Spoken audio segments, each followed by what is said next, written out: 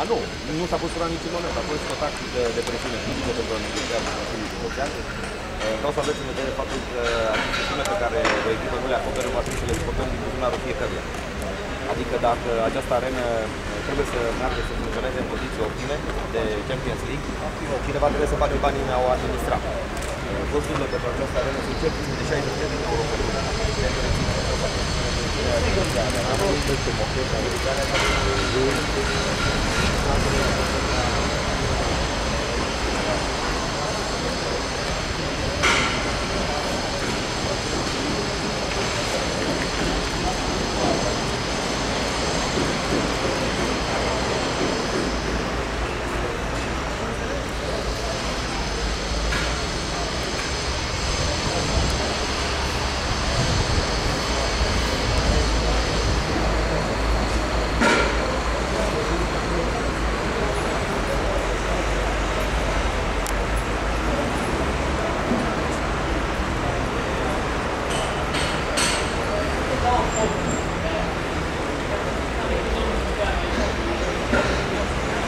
fast as I could. No.